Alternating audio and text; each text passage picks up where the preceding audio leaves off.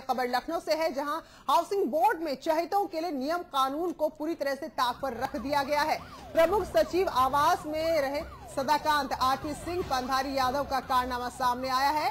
Commission खोरी के चक्कर में बड़ा फर्जीवाड़ा किया है। Blacklisted Nagarjuna construction company को अरबों का ठेका दे दिया। तो ही गाजियाबाद की मंडोला विहार योजना का काम भी एक दागी कंपनी को दे दिया गया। नियम के अनुसार 70 फ़ीसदी बुकिंग के बाद ही टावर का निर्माण होता है। लेकिन यहाँ यहाँ जो बुकिंग भी नहीं हो पाई थी, इस नियम को दरकिनार कर दिया गया। आरपी सिंह ने खुद ये आदेश दिए थे। मगर सिर्फ़ 12 पंजीकरण पर आखिर फ्लैट के निर्माण में पाँच सौ छप्पन करोड़ रुपए कैसे फूंक दिए गए? आरपी सिंह ने कमीशन के लिए अपने ही आदेश की धज्जियाँ उड़ा दी हैं। तो यहाँ पर ये बड़ा जो खुलासा समाचार प्लस आपको कर रहा है कि किस तरह से यहाँ पर ब्लैक लिस्टेड कंपनियों को फ़ायदा पहुँचाया गया है और जो एक नियम होते हैं, उस नियम को भी ताक पर रख दिया गया है और अपनी कमीशनबाजी के चक्कर में। तो हाउसिंग बोर्ड में सारी अनियमितता सामने आई है, जहाँ अपने ही चहेतों को फ़ायदा पहुँचाने के लिए नियम कानून की धज्जियाँ उड़ा दी गई। तो आरफी इंफ्रा वेंचर की बात करें तो लखनऊ में 1400 करोड़ के घोटाले का मामला है। कंपनी के घोटाले को लेकर उच्च स्तरीय बैठक है। आज दोपहर तीन बजे जनपद सचिवालय में बैठक होगी। अपर मुख्य सचिव पीडब्ल्यूडी सदाकांत की अध्यक्षता में बैठक होगी। पीडब्ल्यूडी के अध्यक्ष वी के सिंह भी इस बैठक में शामिल होंगे। चीफ इंजीनियर आगरा आजमगढ़ भी मौजूद रहेंगे। सभी संबंधित S E X E N भी यहाँ तलब किए गए हैं। बैठक में कंपनी के खिलाफ कार्रवाई को लेकर चर्चा होगी। बैंक गारंटी, एफडीआर के फर्जीवाड़े पर भी यहाँ सख्त कार्रवाई हो सकती है। आगरा कोऑपरेटिव बैंक की फर्जी गारंटी का यहाँ पर इस्तेमाल किया गया और फर्जी तरीके से बैंक गारंटी का वेरिफिकेशन भी कराया गया। फर्जीवाड़े में डीसीबी आगरा के अधिकारी भी शामिल हैं। दिनेश राठौर, संतोष शर्मा, आलोक गर्ग पर भी शिकंजा कसना लगभग लगभग तय माना जा रहा है। आरपी इंफ्रा वेंचर के तीनों डायरेक्टर्स तीनों निदेशकों पर अब शिकंजा कसेगा। कंपनी ने बगैर टर्नओवर के 1400 करोड़ के टेंडर हासिल कर लिए थे। मथुरा और आगरा से लेकर आजमगढ़ तक ये टेंडर हासिल किए गए। सपा के पूर्व मंत्री के भाई की कंपनी है, दिनेश राठौर। इसका नाम है तो ज़ाहिर सी बात है कि उस वक्त सत्ता के रसूख में नियमों को दरकिनार कर दिया गया। तो RP infra venture private limited का एमडी पूर्व मंत्री शिव कुमार राठौर का भाई है। और इसके प्रभाव के चलते टेंडर का एक खेल हुआ तो अखिलेश यादव का बेहद करीबी शिव कुमार राठौर। तो ऐसे में आप समझ सकते हैं कि यहाँ पर क्यों इस तरह नियमों की धज्जियाँ उड़ा दी गई जी शिवपाल यादव को बर्खास्त किया गया तो सारे टेंडर इन्हें दे दिए गए। और आगे बढ़ेंगे आज। बड़ी खबर राज्यसभा से आई, जो यूपी से जुड़ी थी। जी हाँ यहाँ पर बीएसपी के अध्यक्ष मायावती ने सदस्यता से इस्तीफा देने का ऐलान कर दिया। उन्होंने कहा कि मुझे यहाँ दलितों की बात रखने नहीं दी जा रही, जिसके लिए मैं सदन में आई हूँ। तो जब उन्हें उपसभापति ने बोलने से रोका तो इस सदन के अंदर देखिए आप किस तरह वहाँ से भड़क कर मायावती चली आई। और उसके बाद बाहर मीडिया से मुखातिब होकर उन्होंने कहा कि जब उन्हें सदन में उनके अधिकारों का इस्तेमाल ही नहीं करने दिया जाएगा, जब उन्हें सदन में दलितों से जुड़े मुद्दों को उठाने ही नहीं दिया जाएगा तो फिर उनका इस पद पर बने रहने का कोई औचित्य नहीं है। इसी के साथ उन्होंने ऐलान कर दिया कि वो राज्यसभा की सदस्यता से इस्तीफा दे रही है।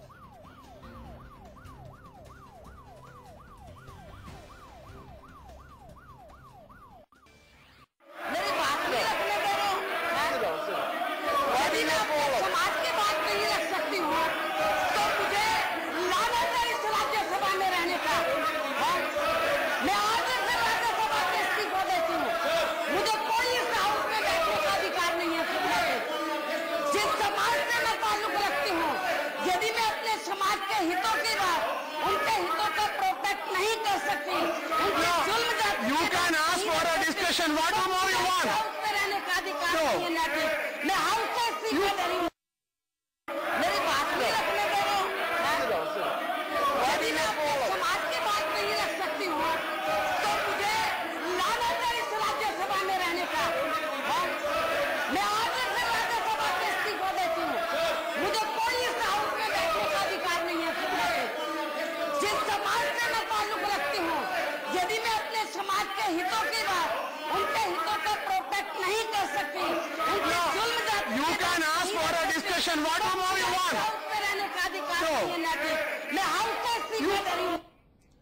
और चलिए अब बात करेंगे यूपी विधानसभा की, जहाँ एक सफ़ेद पाउडर मिला था और कहा गया विस्फोटक है, जिसके बाद काफ़ी हड़कंप मचा था। फ़िलहाल अब इस कांड से जुड़ी एक और बड़ी खबर कि यूपी विधानसभा में जो संदिग्ध पाउडर मिला था, वो विस्फोटक नहीं है। जी हाँ आगरा की जो लैब है, उसने खुलासा किया है कि उसको जाँच में पदार्थ विस्फोटक नहीं मिला है।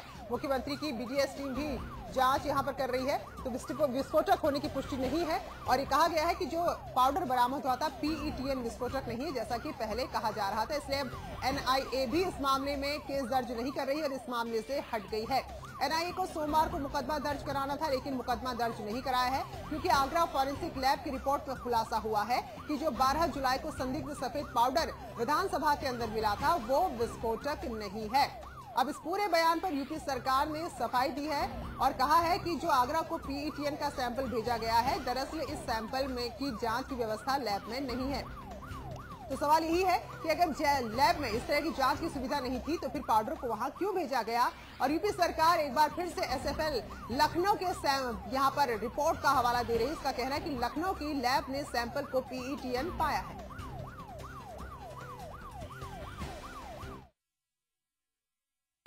विगत 12 जुलाई को उत्तर प्रदेश की विधानसभा लखनऊ में एक विधानसभा के अंदर पाउडर नुमा पदार्थ मिला था, जिसकी लखनऊ एफएसएल की लैब में उसकी जाँच कराई तो सरकार की तरफ़ से जवाब आया कि वो पीईटीएन विस्फोटक पदार्थ है। और आज सुबह ही प्रिंसिपल होम सेक्रेटरी ने एक प्रेस नोट जारी किया कि आगरा में वो जो नमूना था उस पाउडर का, वो भेजा ही नहीं गया। ऑफ़ द रिकॉर्ड अगर बात करें तो यहीं विधि विज्ञान प्रयोगशाला में एक अधिकारी के मुताबिक ये बात सामने आई कि पाउडर यहीं आया था जाँच होने के लिए और लेकिन उसमें पीटीएन जैसी बात सामने नहीं आई है। हालाँकि इस पूरे मामले में आखिरकार सरकार बैकफुट पर है। सरकार का जिस तरह से बयान आया है कि आगरा हमने जा जो पाउडर था वो भेजा ही नहीं है। प्रिंसिपल होम सेक्रेटरी या प्रेस नोट के ज़रिए ये बताना चाह रहे हैं कि यहाँ पाउडर भेजा ही नहीं है। लेकिन उस पाउडर को उत्तर प्रदेश के मुख्यमंत्री योगी आदित्यनाथ भी साबित कर चुके हैं, बयान दे चुके हैं विधानसभा के अंदर कि वो पाउडर लखनऊ में जब जाँच कराया गया तो पीईटीएन ही पाया गया। हालाँकि आगरा में ऑफ़ द रिकॉर्ड जिस तरह से मामला सामने आया कि जाँच हुई और जाँच में वो पाउडर महज साधारण पाउडर निकला, वो पीईटीएन नहीं निकला। अपने सहयोगी अर्पित राजावत के साथ शिव चौहान, आगरा समाचार प्लस। तो एफएसएल के निदेशक कह रहे हैं कि जो पाउडर है, दरअसल वो पीईटीएन नहीं है, यानी कि वो साधारण पाउडर है, कोई विस्फोटक नहीं है। तो ऐसे में अब एनआईए इस मामले को नहीं लेगी। इस मामले में कोई रिपोर्ट भी इसने एफआईआर दर्ज नहीं कराई है। तो निदेशक एस एन उपाध्याय है, जो यहाँ पर इस बात से इनकार कर रहे हैं कि जो पाउडर मिला है, वो विस्फोटक नहीं है। लेकिन अगर खुद एस एन उपाध्याय की हम बात करें तो इन पर बिहार में कई मुकदमे दर्ज हैं। यूपी पुलिस में रहते भी वित्तीय अनियमितताओं की इन पर जाँच चल रही है, फर्जी तबादले के मामले भी इन पर चल रहे हैं। तो फ़िलहाल, इनका अपना खुद का रिकॉर्ड बहुत सही नहीं है, लेकिन अब यहाँ पर जो जाँच हुई है, जो लैब की रिपोर्ट आई है, उसको लेकर सवाल उठाते हुए कह रहे हैं कि सैंपल में पीईटीएन नहीं पाया गया। हालाँकि लखनऊ की लैब की रिपोर्ट ये कहती है कि जो पदार्थ था, वो विस्फोटक है पीईटीएन विस्फोटक है पदार्थ जो विधानसभा के अंदर मिला था। लेकिन दो अलग अलग लैब के दो विरोधाभासी, नतीजे दो विरोधाभासी रिपोर्ट यहाँ पर सामने आई, जिससे ज़ाहिर सी बात है सरकार असहज ज़रूर हो गई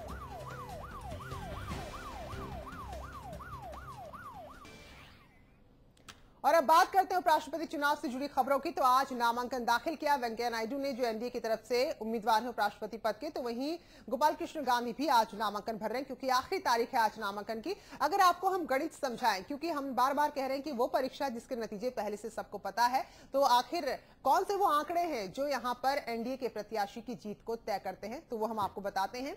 राज्यसभा और लोकसभा को मिलाकर कुल सात सांसद हैं। और जीत के लिए यहाँ पर चाहिए तीन सौ तिरानबे सांसदों का समर्थन। और एनडीए की बात करें तो इसके पास नेशनल डेमोक्रेटिक के बाद यहाँ पर तीन सौ छत्तीस सांसद हैं राज्यसभा में और 70 सांसद एनडीए के पास है। 406 सांसद सीधे तौर पर वेंकैया नायडू के साथ हैं, यानी कि जो एक ज़रूरी संख्या चाहिए उससे बहुत ज़्यादा है। और यही वजह है कि बार बार कहा जा रहा है कि इस इम्तिहान के नतीजे सबको पहले पता है। तो 336 सांसद हैं एनडीए के पास और अगर बाकी की बात करें तो यहाँ राज्यसभा में एनडीए के पास 70 सांसद हैं और 406 सांसद सीधे तौर पर वेंकैया नायडू के साथ हैं, जबकि ज़रूरी संख्या बल है तीन सौ तिरानवे।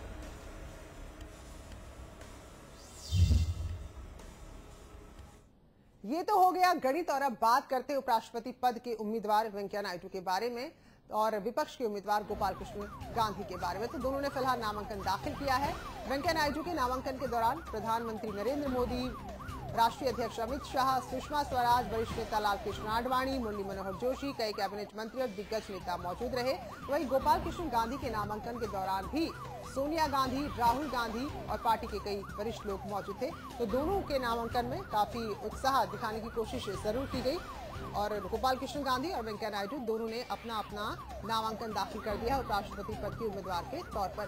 तो ये आज की खबर है। कल मतदान संपन्न हुए हैं राष्ट्रपति के लिए और अब आज से उपराष्ट्रपति को लेके चुनाव को लेकर हलचल तेज है। तो ये दो उम्मीदवार उपराष्ट्रपति पद के लिए, वेंकैया नायडू जो एनडीए के उम्मीदवार हैं तो वहीं विपक्षी दल ने यहाँ पर गोपाल कृष्ण गांधी को अपना उम्मीदवार बनाया है। तो पूर्व प्रधानमंत्री मनमोहन सिंह यूपीए अध्यक्ष सोनिया गांधी और तमाम बड़े नेता मौजूद थे, जहाँ गोपाल कृष्ण गांधी के साथ, वहीं वेंकैया नायडू के साथ खुद प्रधानमंत्री आए थे। अमित शाह, लालकृष्ण आडवाणी, मुरली मनोहर जोशी तमाम कैबिनेट मंत्री पहुँचे तो दोनों अपना अपना नामांकन दाखिल कर चुके हैं।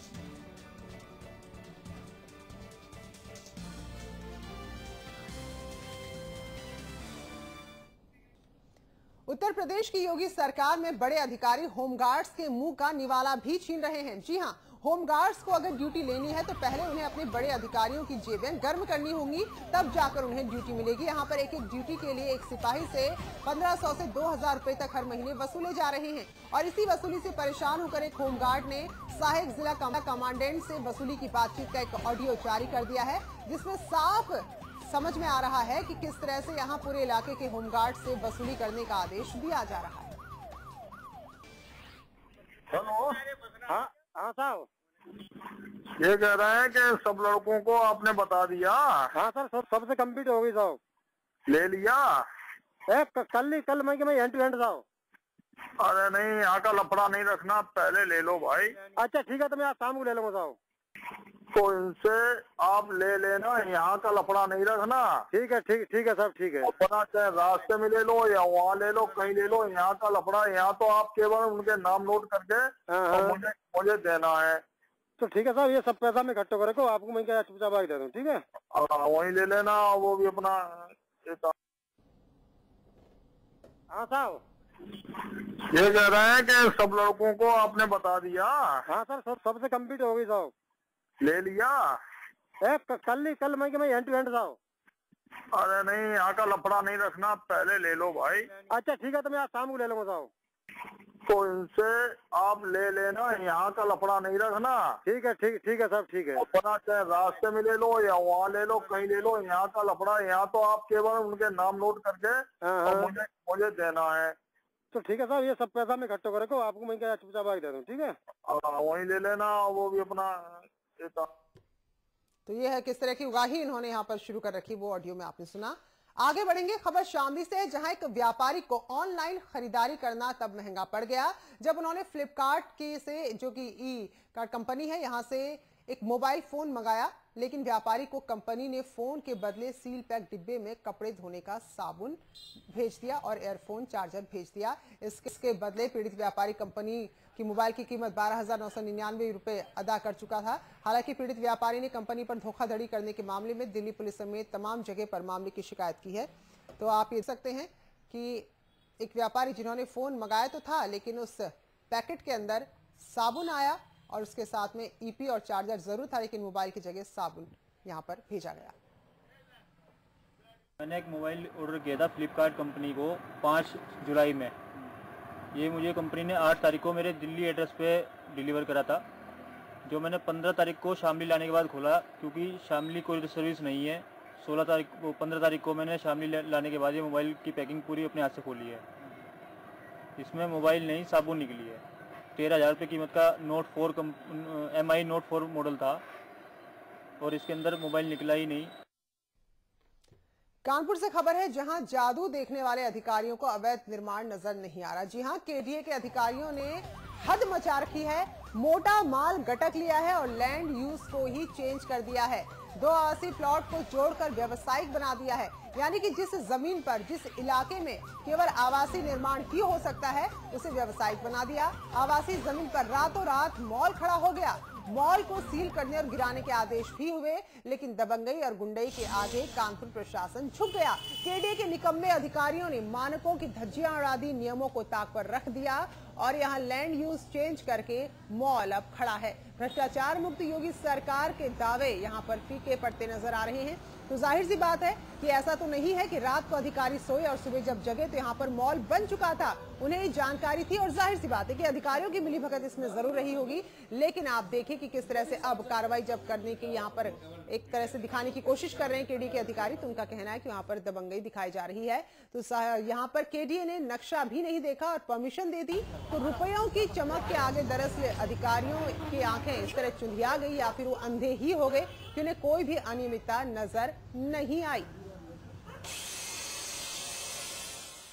कानपुर विकास प्राधिकरण में जहाँ अधिकारी और कर्मचारी जादू देखकर गोलमाल सीखने की कोशिश कर रहे हैं, उसका जीता जाता उदाहरण दिखाते हैं उन अधिकारियों का गोलमाल का।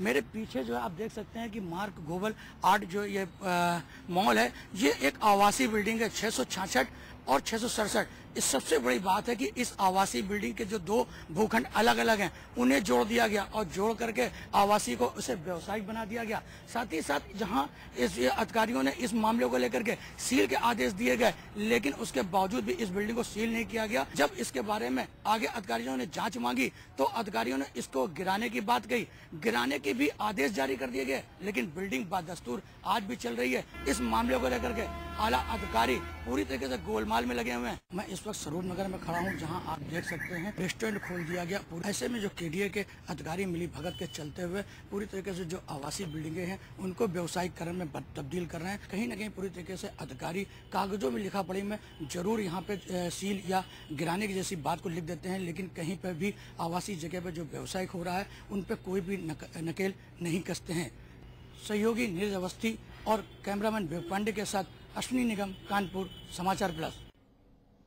और आगे बढ़ेंगे। बरेली से खबर है, जहाँ एक महिला अपने पति के नशे की आदत छुड़ाना चाहती थी, लेकिन एक तांत्रिक ठग के चक्कर में फंस गई। जी हाँ, एक मजबूर औरत की संवेदनाओं का सहारा लेकर उसके पति की शराब छुड़ाने का दावा कर ठग तांत्रिक ने उससे करीब साढ़े तीन लाख रुपए के जेवर ठग लिए और वो रफू चक्कर हो गया और सोने की जगह कोयला रख दिया। ऐसे में महिला ने तांत्रिक के खिलाफ पुलिस में शिकायत दर्ज करा दी है। पुलिस का कहना है की आरोपी तांत्रिक की तलाश की जा रही है। एक महिला के द्वारा ये तहरीर दी गई है कि एक तांत्रिक जिसके पास वो जाया करती थी, उसने अपने पति और बच्चों के कुछ शराब वराब की आदतें छुड़वाने को लेके उससे कुछ बात की थी। तो उस तांत्रिक ने उससे गहने ठग कर और उसके गहने लेकर वो चंपत हो गया है। इसमें महिला की तहरीर के आधार पर एक एफआईआर दर्ज की जा रही है और जल्दी उसको पकड़ा जाएगा। कानपुर में घर में बने टिन के गोदाम में धमाका हो गया। घटना किदवई नगर के ओ ब्लॉक की है। भारी फोर्स के साथ घटनास्थल पर पुलिस पहुँची और एसटीएफ की टीम भी पहुँची है। एसएसपी सोनिया सिंह ने खुद मौके का मुआयना किया। धमाके वाली जगह पर कुछ अवशेष मिले हैं जिसे खतरनाक विस्फोटक बताया जा रहा है। हालाँकि अभी ये पता नहीं चल पाया है कि विस्फोटक कौन सा था मौके से पुलिस ने 12 बोर के दो खाली कारतूस भी बरामद किए हैं। बताया जा रहा है कि मकान के एक कमरे में 8 से 10 लड़के किराए में रहते थे। पुलिस ने इस मामले में चार युवकों को हिरासत में लिया जबकि तीन संदिग्धों की तलाश की जा रही है। रात करीब साढ़े नौ बजे इस घटना के बाद शहर की सुरक्षा बढ़ा दी गई है और चप्पे चप्पे पर पुलिस को तैनात किया गया है। सीढ़ियों के पहले ही चैनर के साथ ही वहीं पे दो कारतूस हम मिले हैं जो पुराने, बहुत पुराने कारतूस हैं बारह बोर के, और उनमें हिट भी नहीं हुआ है, और बारूद उनका छितराया वहाँ पे पड़ा हुआ था, और उन कारतूसों पे कोई चोट नहीं हुई, और धमाका हुआ है। अब ये पता किया जा रहा है कि ये कैसे धमाका हुआ है, और कहीं किसी को कोई चोट नहीं लगी। ये अभी लोगों ने बताया कि यहाँ पे तीन किराएदार रहते हैं, और एक ऐसा कमरा है जिसमें किराएदारों की संख्या बदलती रहती है। कभी दो तीन कभी ज़्यादा बढ़ता बढ़ता, घटता रहता है नंबर। तो ये, इस संबंध में मैंने अभी बताया है कि उसकी सूची बनाई जाए, उनको वेरीफाई कराया जाए। अभी वो लोग यहाँ से हट गए हैं। मौके से दो जो कारतूस होते हैं जिसमें एक्सप्लोसिव भरा जाता है, वो खाली कारतूस मिले हैं। और वहाँ पे जो गन, ये पाउडर मटेरियल मिला है, उसका हम लोगों ने सैंपल लिया है, उसको हम लोग टेस्ट करेंगे। अभी ऐसी कोई संदिग्धता नज़र नहीं आई। कह नहीं सकते, क्योंकि कोई भी ऐसा लक्षण नहीं है, कहीं भी किसी प्रकार का, जिससे ये बता पाए कि धमाका किस चीज़ अगली खबर भी कानपुर से ही है, जहाँ पुलिस ने छापा मारकर जुआ खेल रहे तीन छात्रों को गिरफ़्तार किया है। कल्याणपुर थाना क्षेत्र के यूनाइटेड नगर में मुखबिर ने सूचना दी कि यहाँ पर जुए का खेल चल रहा है, जिसके बाद पुलिस ने छापा मारा तो सात छात्रों को गिरफ़्तार कर लिया। छात्रों की तलाशी के दौरान उनके पास से आठ हज़ार रुपए और दो ज़िंदा बॉम्ब बरामद हुए हैं। इसके बाद पुलिस ने बॉम्ब निरोधक दस्ते को मौके पर बुलाया और बॉम्ब को डिफ्यूज किया गया। हालाँकि पुलिस ने पकड़े गए छात्रों से पूछताछ शुरू कर दी, लेकिन ज़िंदा बॉम्ब उनके पास क्यों था, इसका जवाब भी छात्र नहीं दे पा रहे हैं और पुलिस ने आगे गंभीरता से जाँच शुरू कर दी है। कुछ बच्चे घर में इकट्ठे होकर कोई ज्वलनशील पदार्थ भी उनके पास है। इस सूचना पर हमारे चौकी इंचार्ज विद फोर्स के साथ वहाँ पे पहुँचे और बच्चों के पास से दो बम मिले हैं और बम के साथ उनके पास से आठ हज़ार रुपये और टोटल नंबर ऑफ़ जो बच्चे थे वो लगभग सात थे और जो थोड़ी देर बाद बम निरोधक दस्ता जो उसको बुला लिया गया था और बम निरोधक दस्ता आके उसको डिस्पोज कर डिस्पोज कर दिया है। बुलंदशहर में पुलिस और बदमाशों के बीच मुठभेड़ हुई। आपको बता दें कि पुलिस की मेरठ के एक व्यापारी को निशाना बनाने जा रहे शातिर बदमाश आमिर और उसके साथियों के साथ मुठभेड़ हुई। बदमाशों ने जब खुद को घिरता हुआ देखा तो पुलिस पर हमला कर दिया, जिसमें एक गोली कोतवाली देहात अमरेश बंघेल को लगी है, जबकि कोतवाली नगर प्रभारी धनंजय मिश्रा की जान, उनकी बुलेट प्रूफ जैकेट ने बचा ली। मुठभेड़ के बाद पुलिस ने एक बदमाश को गिरफ़्तार कर लिया, जबकि उसके साथी भागने में कामयाब रहे। पुलिस की चौकसी के कारण मेरठ के एक व्यापारी का अपहरण होने से बच गया। व्यापारी यहाँ पर किसी बड़ी घटना का शिकार हो सकते थे, लेकिन पुलिस की सतर्कता ने इस बड़ी घटना को टाल दिया।